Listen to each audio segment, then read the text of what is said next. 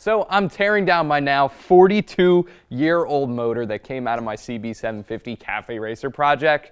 Now, before I acquired this bike, I know it already has been through a lot of abuse. It barely ran when I bought it, but it did run. I want to do a whole teardown and refresh on the engine before it goes back into the bike. And I want to check and see the wear on the cylinder bores, and from there I can see whether or not I want to go to the machine shop. And to check that bore, I need an Eastwood dial type cylinder bore gauge kit. This will measure a cylinder anywhere from 2 inches to 6 inches, and this guy comes with 12 different pins in order to measure those different ranges of bores. It also comes with a couple of different size shims in order to fine tune your diameter a little bit better. So diving into what we have here, the bore on these specific cylinders is small. Little baby motorcycle engine. These are supposed to be 62 millimeters, which converted into freedom units for you guys is 2.44 inches. So to start off here, we're gonna grab our outside micrometer and zero this thing out to 2.44 inches, and then we can get to it.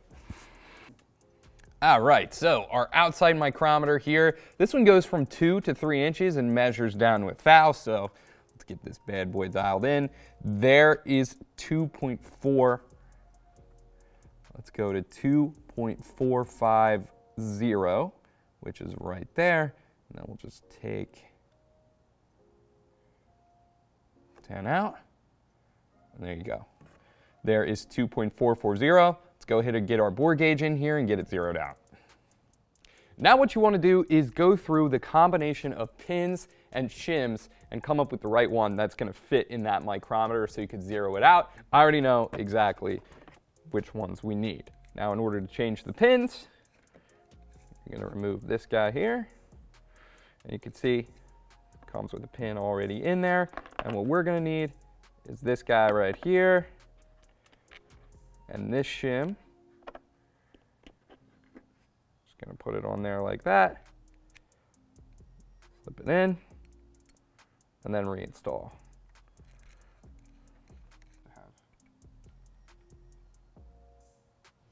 So now what I'm gonna do is I'm gonna put our bore gauge into the micrometer. Now when I do that, you see that that needle swings over to that point right there. And if I give it a little bit of a wiggle, you can see pretty much where it wants to sit. Now what I'm gonna do, and I'm gonna try to hold this in the micrometer as I do it, is I'm gonna loosen this thumb, thumb screw and then when you loosen that, you can spin this bezel around and you just want to put zero under the needle. Give it a little bit of a wiggle, make sure it's centered up. That looks about right to me. And then you can tighten back down that thumb screw and this thing is zeroed out. And if I take it out of the micrometer, you'll see that that needle jumps back up to zero. But once we're at 2.44 inches, we'll be pretty much at zero right there. All set. So now we're ready to go. Let's get some measurements going here. Uh, I'm gonna just drop this in. Really that simple to see what you got. Now, there is a little bit of a process when you're doing this. You wanna take your measurements top, middle, and bottom, but you also wanna make sure that the direction of this is oriented with the thrust side of your bore. That's where most of the wear is going to be happening. And then once you get all those measurements, you could turn this 90 degrees and do the same thing top, middle, and bottom. So let's start. Let's get this oriented with the thrust side of the cylinder, which is that way. So the top has a little bit of carbon buildup there. You can see that it's a little bit past zero. By the way, this way is gonna be tighter. This way is gonna be loosening. So as we move down, you can see that loosens up a little bit. There's the middle right there, spot on.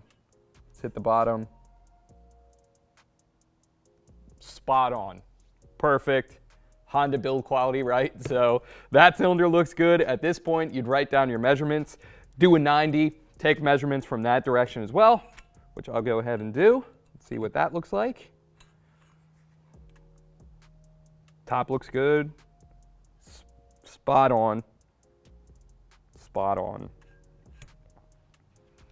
Wow. 42 years later, exactly in spec. What can I say? So, write that down and then continue for the other three cylinders, which I'm going to go ahead and do right now.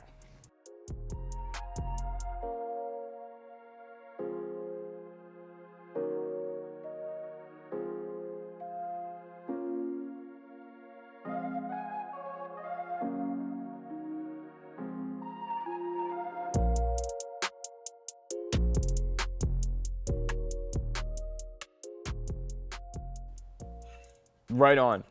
Last one looks just as good. So again, after 42 years, really no loss of measurement in these cylinders at all. Looks good, other than being a little bit dirty, needs a little bit of a cleanup. And hey, once that's done, I might even send it to the machine shop. Anyways, but back to the bore tool. Couple of other things I didn't mention here. Obviously, you get a nice legible black and white gauge up here, but you also get some min-max rings. You can adjust those and slide them around where you want your min and your max to be, or if you wanted to stay within a certain range, you could set that and just make sure the needle bounces between. Nice little touch right there. Obviously, you get a nice long handle, little grip at the top as well. Great for reaching into those deep cylinder bores. And also, one thing I didn't mention in the kit, you do get an extension in there as well. So you can really do those big blocks, those really wide six inch cylinders with the right setup of shims, pins, and that extension right there. All good to have. And on top of that, you get that nice blow molded carrying case as well, which keeps everything nice and organized when you're done. Pretty neat little tool, very accurate, comes at a budget friendly price tag as well, and it's even backed with a one year warranty from Eastwood.